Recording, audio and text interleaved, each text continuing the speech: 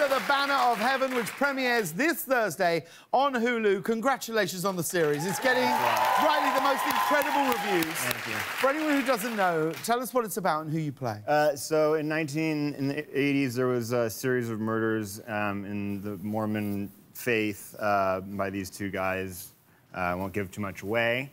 Uh, but it follows uh, Andrew Garfield, uh, who's a detective who's on the case of these these uh, Mormon killers, and it, and it explores, uh, you know, fanaticism, extremism, and faith, and how you kind of can get the rabbit hole and go down that rabbit hole to get there. So, it's an interesting one. It's brilliantly made, expertly performed. You shot the series while you were in Canada, Yeah. and you were away for quite some time. And while you were away, your wife made a decision about your family life. Your wife, is this right? She bought a house Yes. without you seeing it or even really telling you. Is that right? Yes. How's that going? Well, it's going very well because I've made the, one of the secrets to marriage I've found is just to let your wife do whatever they want with Right. the house. Yes. And you are in the absolute clear. So uh, that it was, she saw this house. It was wonderful. We wanted to move closer to family. We were able to do that. Very lucky and fortunate to be able to do that. And so I just said, yeah, go for it. Like if this is it, I want. I, I, and and when we went into escrow, I was the first time I ever went into the house. Set foot Wow. the house.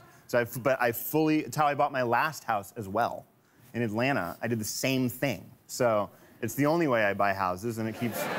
my wife and I are very happy, and we're together You for just, three years. you just buy houses like this. Yeah. No, no, no. I buy houses like that, but my wife is here. Now, Henry, you have you have six grandchildren. I do. So when your grandchildren come over, what's a typical afternoon like in the Winkler residence? Okay, so my granddaughters that are older, one is 12 and one is uh, 9, uh, going to be 10, I believe. And uh, we do TikToks once a year. Oh wow. okay. And uh, my granddaughter, India, uh, choreographs them. And then uh, Lulu, India, and I dance in them. And this year, Ace joined us. Right. Yes. Wow. And what sort of moves are we pulling out here, Henry? What? Do you want to see? I mean, if you've got one. sure.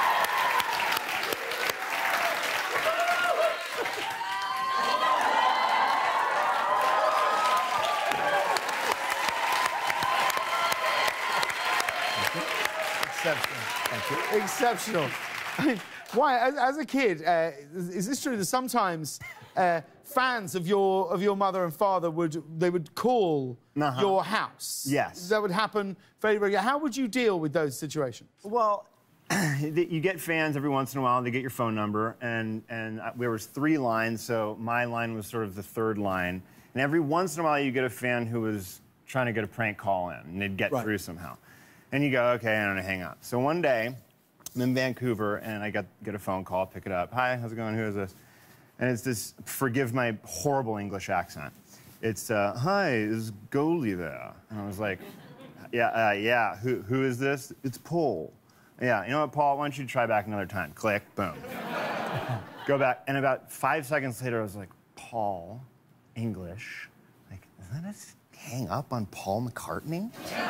like, it's possible, but I don't know because I can't call him back. I don't have like a, not a cell phone. It's no, there's no Star 69 to London. Like, and Yeah. I don't want to call my mom and say I might have hung up on Paul McCartney because then she calls back. And he's like, I didn't call you. Then that's a weird situation for my mom. Of course, yeah. So I don't want to do that. So I was like, I don't let it be.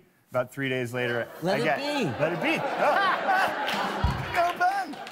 No fun. Uh, about three days later, I go to my machine. There's a message on it, and I, I, I, I click play, and it's like, "Hi, what? It's Paul. Paul McCartney." They're like, "Oh my God, I hung up on Paul McCartney." Wow, kind of a cool move, I'm very though. sorry. Yeah. Yeah, it's a great move. Yeah, I love that. yeah, yeah, Now, Henry, this is exciting. Would you send him my regards? yes. Paul McCartney? Yeah. You, you spent time with Paul McCartney? I met him on Madison Avenue for about three minutes. Right. He said, Oh, the Fonz.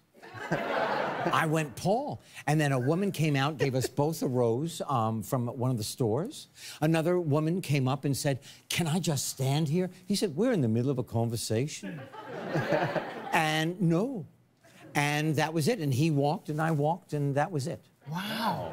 It's kind of amazing when you're walking around with them, isn't it? People are, it's a different type of fame. But you're right, people just want to sort of be in the aura of it. I did. I did.